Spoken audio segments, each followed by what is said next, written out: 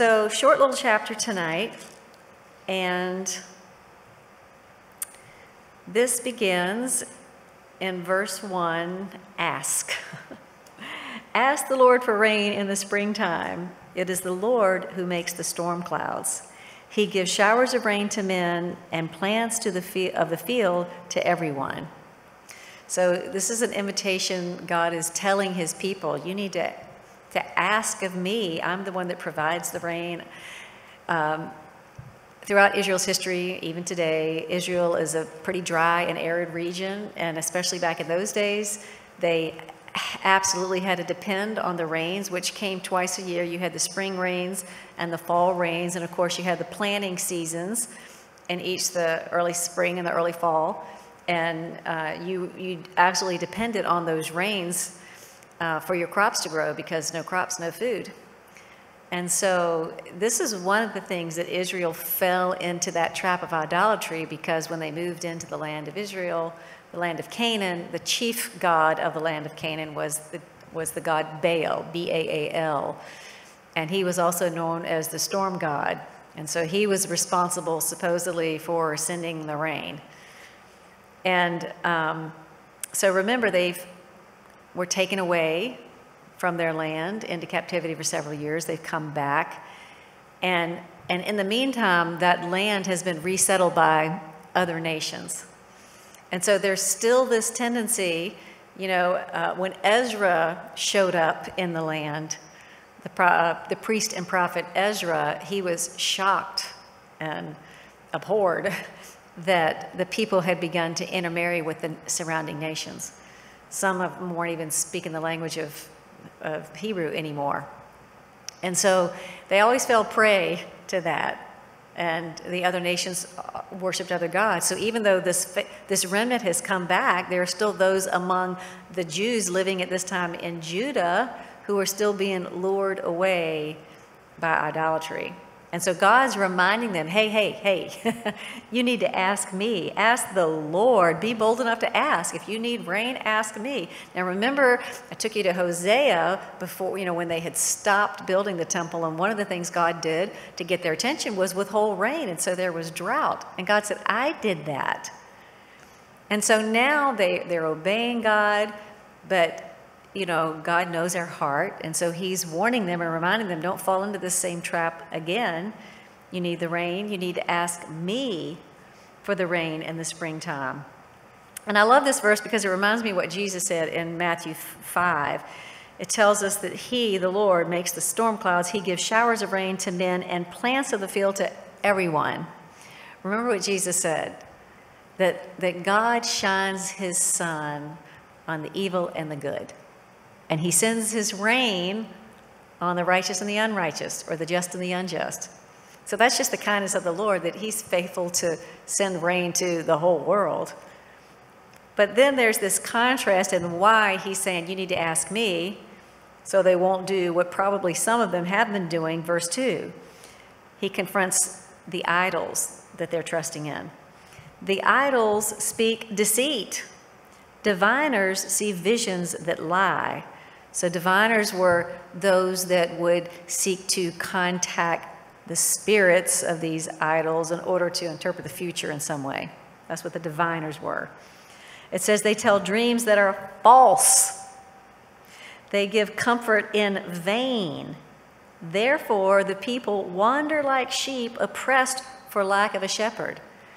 So instead of trusting in the good shepherd, the Lord their God, the faithful God, the one who is the one that makes the rain and sends it, he's warning them about, about these false idols, these diviners, uh, things that they're, they're putting their trust in that are just empty, false promises and false hope. And because of that, where does that leave them as a people? They wander like sheep, oppressed for lack of a shepherd. So there's this indirect reference here to, once again, the shepherds. Who were the shepherds? The leaders and the rulers over the people.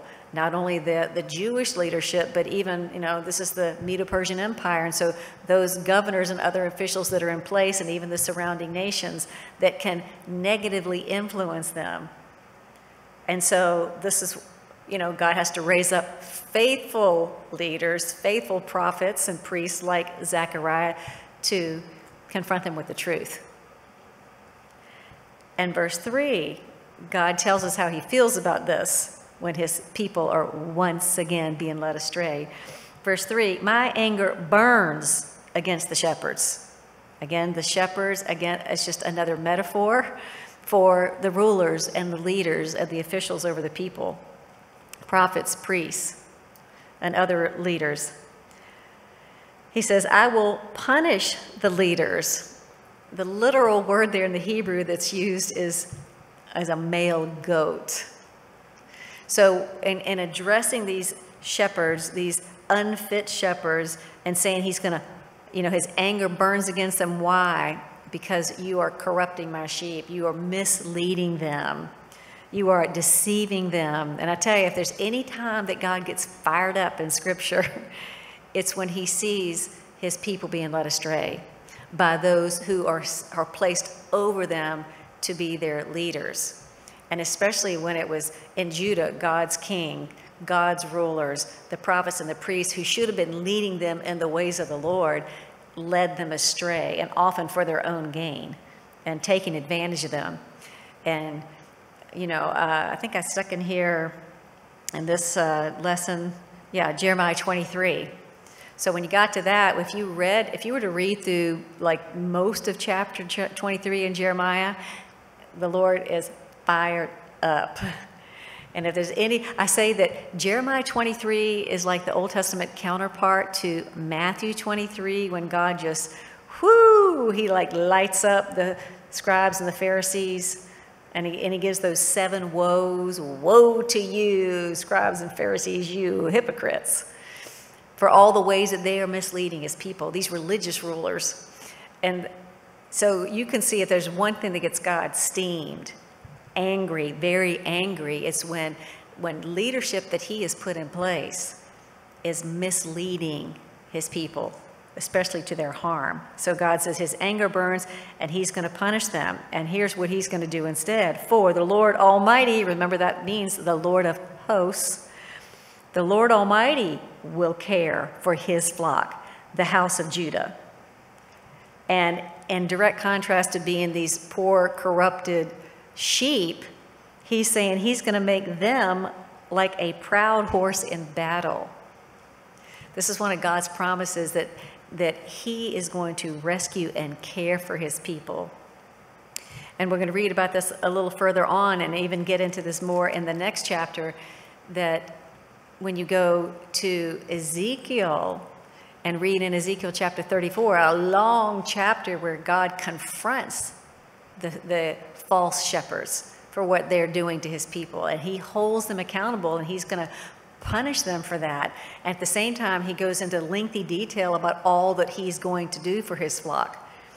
And so remember, Ezekiel prophesied during that 70 year captivity. So the people of Judah should recall whenever, uh, even now, Zechariah, using these references and these promises that God makes, as being a shepherd and he is going to care for the flock of his people, that should ring a bell for them about all the things that God spoke through Ezekiel that he will do.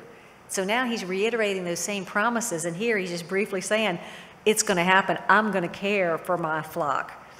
And ultimately, God's going to make them like a proud horse in battle, strong, raring to go. And then here's how this will ultimately come about. Verse 4 From Judah will come the cornerstone. From him, so this cornerstone re- refers to a him, and from him the tent peg, the battle bow, from him every ruler. So from Judah, this might ring a bell from your Old Testament history. From Judah will come the cornerstone. Now, if you've been in church and you sung a lot of church song, you know that Jesus is the cornerstone, right? we we read that clearly in the New Testament, but that's a reference to the Old Testament. And if you want to keep your finger here, let me take you all the way back to the book of Genesis, chapter 49. So, first book of the Bible, Genesis 49. So, Jacob, just before he died, he blessed each of his 12 sons with a specific blessing. and one of the more lengthy blessings he gave was to Judah. And Judah was the uh, Reuben, Simeon, Levi, fourth son born to Jacob. But look at what he says in Genesis chapter 49, verse 10. He says, The scepter will not depart from Judah. So they're still in Egypt at this time. This is when Jacob has come to join Joseph and brought the whole family there, and they're going to be there for 400 years before God leads them out. So this is before there, eh, but this is before the Exodus even occurs. All right, this is before there's ever a king in Israel, long before. And God prophesied through the mouth of Jacob that from Judah, the scepter, the ruling scepter, will not depart, nor the ruler staff from between his feet until he comes to whom it belongs. Other translations say until Shiloh comes, until the Prince of Peace comes, and the obedience of the nation is his. So, from the beginning of their history, we know that a ruler is going to come from Judah. And then the verse often quoted at Christmas time, you know, when the wise men came searching for this baby boy who's born king of the Jews, and Herod had to consult, you know, the priest to find out, has there been anything written in the scriptures about where this child, this Messiah is to be born? And they say, they, they search and they go, oh yeah, in Micah. Micah chapter 5. So Micah was a contemporary of Isaiah. They prophesied in the same time frame. So again, long before either captivity. And in Micah 5, verse 2, it says specifically, But you, Bethlehem Ephratah, though you are still small among the clans of Judah, so not only is this, this cornerstone, this coming one, this Messiah coming from Judah, but it tells the specific town where he's going to be born. You, Bethlehem Ephratah, Though you're small among the clans of Judah, out of you will come for me the one who will be ruler over Israel, whose origins are from of old, from ancient times. And other translations say from eternity. So there are several more, but those are just two of the very clear references that there's coming a Messiah from the tribe of Judah. And then it uses a couple more uh, metaphors about him. First, it says, from him, from Judah comes the cornerstone. Now, I meant to put this verse in your questions, and, and, I don't know why it slipped my mind. I was using a study guide, and I used the references that were in there, and then I thought, well, that said capstone, not to be confused by the capstone. It's just a, that's more like the top stone versus the cornerstone. But um, Here's another one you can turn to Isaiah chapter 28. So if you go back a few books, it's kind of easy to find Isaiah. It's a big, long book. Isaiah 28, verse 16. This is the primo Old Testament scripture about the Messiah being the cornerstone, the Messiah from Judah being the cornerstone. So, Isaiah 28, verse 16 says this this is what the sovereign Lord says See, I lay in a stone in Zion. Where's Zion? Jerusalem. Where's Jerusalem? It's the capital of Judah. so here we got that cornerstone coming from Judah. See, I lay a stone in Zion, a tested stone, a precious cornerstone. There it is. For a sure foundation, and the one who trusts will never be dismayed. This is a metaphor again for the Messiah, the one who trusts in him, this cornerstone, will never be put to shame. So, from Judah, this is how God's going to bring about this great deliverance and care for his people. It's going to be through the Messiah from Judah, who's called the cornerstone. From him, the tent peg. Think of what a tent peg was. Okay, remember their forefathers, Abraham, Isaac, and Jacob, they dwelled in tents. Well, how did you secure those tents? With tent pegs. You stretched that tent out and you had ropes and they were tied to a sturdy, secure peg in the ground that kept that tent strong and kept it from falling down. So to use a metaphor that from him is the tent peg, that means think of him being the anchor for the soul. He's solid, he's firm, he's steadfast, he's secure. So from him comes the tent peg, comes that security that we have that we can rely on. Also from him, the battle bow. Well, what's a battle bow? Okay, that's a weapon of warfare. And we learned last week that he is showing up as a mighty warrior, right? That was chapter 9, to shield and deliver them. So from him comes the battle bow. From him, every ruler. Remember, we even saw last week that um, he will rule, uh, chapter 9, verse, I'm looking across the page, verse 10. He, this coming one, the Messiah, will proclaim peace to the nations. He will, his rule will extend from sea to sea. He will rule all the nations, so all the rulers are going to be subject to him. Okay, so then in, in keeping with this thought about Judah, they are living in Judah. The people at this time are from Judah. And so God's reminding them, hey, it's from you, your tribe, that this cornerstone is going to come. And here's some great news for them. Verse 5 Together they, the people of Judah, will be like mighty men, trampling the muddy streets in battle because the Lord is with them. They will fight and overthrow the horsemen. Okay, he just said that, the God, that God's going to make them like a proud horse in battle. Now he's saying, rather than being weak and vulnerable and dumb as sheep, no. Or misguided and misled and fearful like sheep, no. Completely turning the tables around. God's going to make them like mighty warriors Together with the Messiah, they will be like mighty men that will over, fight and overthrow the horsemen. So, and we can, we can compare this with other prophetic scriptures that God is actually, we'll read this when we get more toward the end of the book of Zechariah, that God is actually going to use his people to fight with him. And they will be victorious. And he will make them as strong as King David in battle. And it's because I'll never forget one of my, my friends from college, a good pastor friend of my husband, you know, talking about the great men of the Old Testament and what made them great and why were they successful. He said five words, the Lord was with him. And that's the whole reason for their success. It's the reason for our success in anything because the Lord is with us. And that's why they'll be victorious. Verse 6 I will strengthen the house of Judah. So God's promising He's going to give them the strength and the ability to do this. And save the house of Joseph. Now, what's significant about that? The house of Joseph, that's a reference to the 10 northern tribes. Remember, this is a divided kingdom. Ever since, you know, Saul, David, Solomon, then when Rehoboam took the throne, that's when the kingdom was divided between the 10 tribes to the north and two tribes to the south, and they were divided ever since. So the reference to the house of jo- Joseph, and in a minute we're going to read about Ephraim. Remember, Ephraim is just another name. That was the largest tribe of the 10 tribes. Ephraim was one of the two sons of Joseph.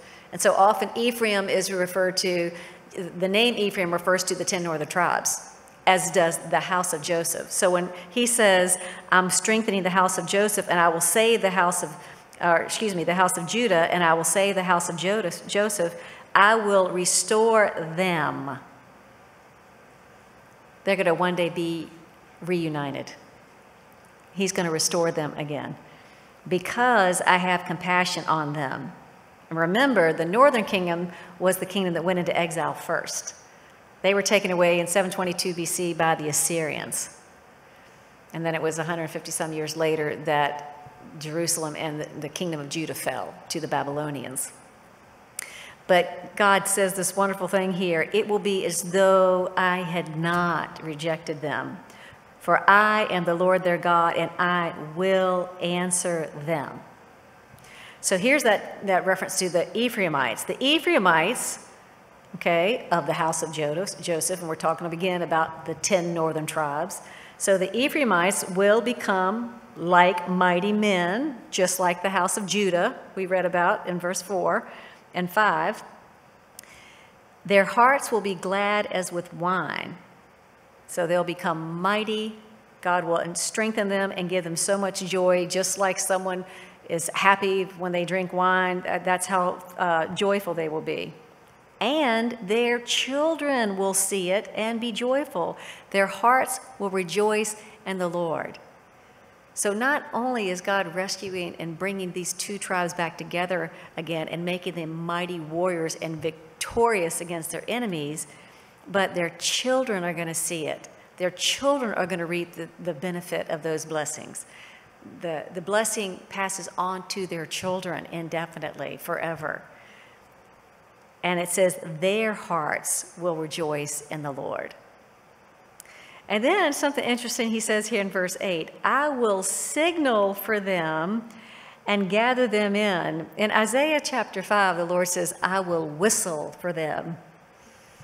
I remember growing up, my dad always whistled for us when we were, you know, way out in the woods or out in the yard. He did it with his fingers. I'd never have learned to whistle like that, but I can remember the sound of it was, hang on.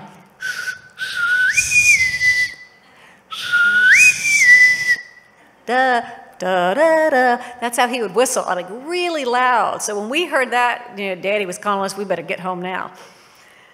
And so often shepherds, whether it was with their fingers or a little pipe whistle, they would whistle for their sheep. You know, the Lord says that my sheep hear my voice and I know them and they follow me, but they also know the whistle of the shepherd. And it, sometimes the shepherds also use a whistle. So this is a reference to God being that good shepherd that he's going to woo, whistle for them and gather them in. We got to do a word study just on gather and like how many times you see that in the prophetic books that God's over and over and over. It's almost like ridiculously redundant how many times God said He's going to gather His people, He's going to gather them, He's going to gather them in. Surely I will redeem them, and they'll be as numerous as before.